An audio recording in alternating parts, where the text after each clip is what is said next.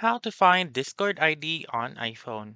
Hi everyone, welcome back into this channel and in today's video I will be teaching you how to find Discord ID on iPhone.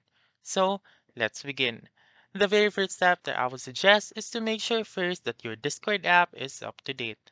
If not, please go to your App Store and then update your Discord app.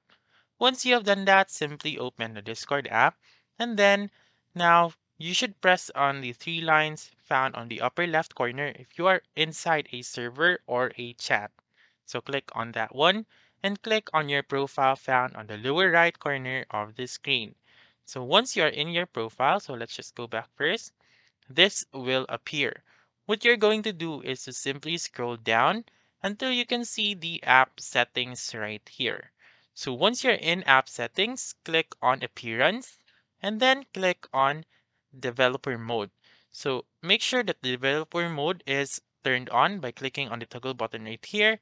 And the toggle button should turn into purple or blue. And then once you have done that, you may go back to Discord, I mean to the homepage or to the chat section, and then go to the chat of the user or person that you want to have the Discord ID. So if you want the Discord ID of your friend, for example, simply click on their profile right here and then click on the three dots found on the upper right corner and click on copy ID.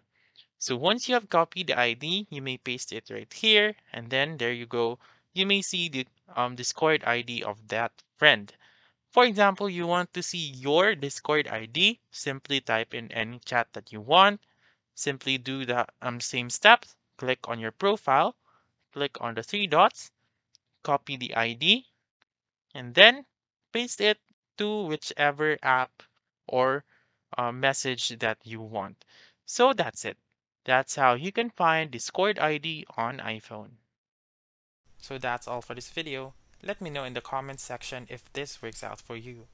For more helpful tutorials like this, Please subscribe to our channel and don't forget to click that notification bell. Thank you for watching and have a wonderful day.